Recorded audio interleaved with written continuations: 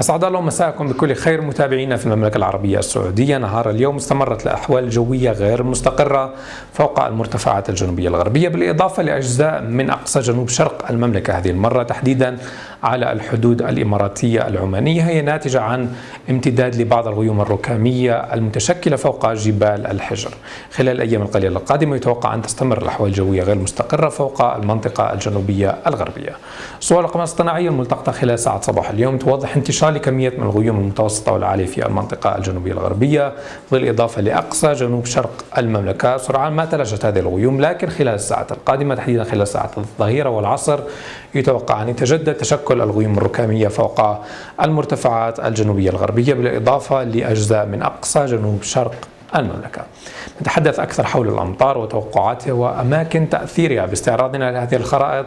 لتوزيع الأمطار من نهار اليوم الخميس وحتى يوم الأحد. يوم الخميس تستمر الأحوال الجوية غير مستقرة فوق المرتفعات الجنوبية الغربية بالإضافة لأقصى جنوب شرق المملكة على الحدود الإماراتية العمانية تهطل زخات رعدية من الأمطار خلال ساعات الظهيرة والعصر.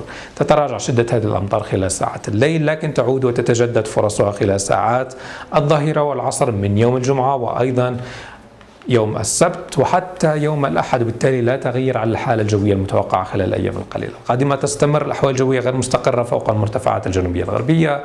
تحديدا مرتفعات جازان مرتفعات عسير وأبها مرتفعات الباحة تمتد نحو مرتفعات الطائف بالإضافة لأقصى جنوب شرق المملكة. نذهب الآن للعاصمة الرياض والتوقعات الجوية لهذه الليلة حيث تسود أجواء صافية بشكل عام. مع 30 درجة مئوية كحرارة مقاسة الملموسة 28 الرطوبة حوالي 30% والرياح تكون خفيفة السرعة. نبقى في العاصمة الرياض وتوقعات الجوية للثلاث أيام القادمة. يوم السبت 43 درجة مئوية كحرارة عظمى الصغرى 32 الأحد 44 ل 33 الاثنين ترتفع لتسجل 45 درجة مئوية كحرارة عظمى أما الصغرى 33 درجة مئوية. نستعرض الآن تفاصيل الحالة الجوية المتوقعة في باقي المدن السعودية ليوم الجمعة. نبدأها شمالا. تبوك 39 ل 27 عرعر 42 ل 28 وسكاكة أقصافي 43 ل 30 درجة مئوية. المنطقة الغربية المدينة المنورة 44 ل 30 جدة 35 ل 31 مكة المكرمة 42 ل 30 والطائف 35 إلى 26 درجة مئوية.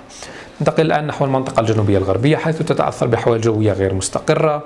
زخات العديد من الأمطار في كل من أبها والباحة. أبها تسجل 31 ل 21 الباحة 31 ل 22 وجزان تفرق لبعض الغيوم 37 إلى 30 درجة مئوية. ننتقل الآن شرقا نحو الإحساء 44 ل 31 مع أجواء صافية. حفر الباطن 43 ل 28 والدمام أجواء رطبة بشكل عام وصافية مع 40 إلى 31 درجة مئوية.